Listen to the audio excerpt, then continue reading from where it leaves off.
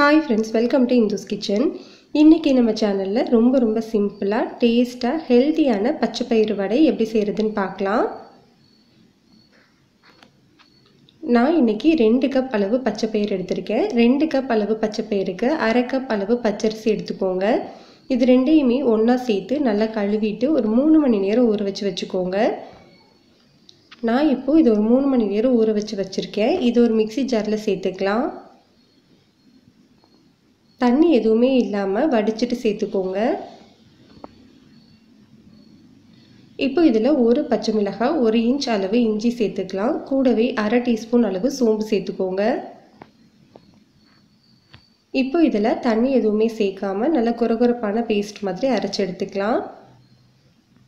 நம்ம நார்மலாக பருப்பு வடைக்கு எப்படி அரைப்போமோ அது மாதிரி குறகுறப்பாக அரைச்சி எடுத்துக்கோங்க. இந்த மாதிரி இருக்கணும். இதில் இப்போது வடைக்கு தேவையான அளவு உப்பு சேர்த்துக்கலாம். ரெண்டு பெரிய வெங்காயத்தை பொடியாக கட் பண்ணிவிட்டு சேர்த்துக்கோங்க.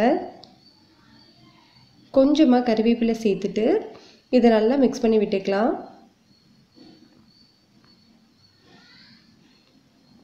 இப்போ இதை நல்லா மிக்ஸ் பண்ணதுக்கு அப்புறமா ஒரு கடாயில் இல்லை பேனில் எண்ணெய் சூடுபடுத்திக்கோங்க. எண்ணெய் சூடானதுக்கு அப்புறமா இந்த மாதிரி ஒரு சின்ன சைஸ் பால் மாதிரி உருட்டிட்டு உங்கள் உள்ளங்கையை வச்சு தட்டினீங்க அப்படின்னா பர்ஃபெக்டான ரவுண்ட் ஷேப் கிடைக்கும். இதே மாதிரி நம்ம வடை எல்லாத்தையுமே தட்டிட்டு உள்ளே சேர்த்துக்கலாம்.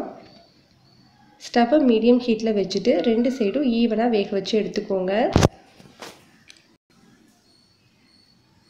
அவ்வளோதான் நம்மளுக்கு ரொம்ப ரொம்ப சிம்பிளாக டேஸ்டான சூப்பரான பச்சை பயிர் வடை ரெடி ஆகிடுச்சு கண்டிப்பாக இதை நீங்கள் ட்ரை பண்ணி பாருங்கள் ரெசிபி உங்களுக்கு பிடிச்சிருந்தா லைக் பண்ணுங்கள் ஷேர் பண்ணுங்கள் கமெண்ட் பண்ணுங்கள்